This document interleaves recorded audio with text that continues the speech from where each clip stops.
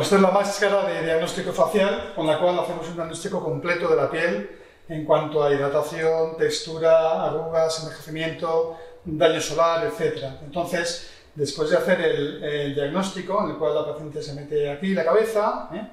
Eh, se ven una serie de imágenes en las cuales podemos ir viendo cuál es el daño solar que tiene, el grado de envejecimiento, la textura de la piel, eh, la secreción grasa, etcétera, ¿vale? El metabolismo de la piel, las zonas sensibles.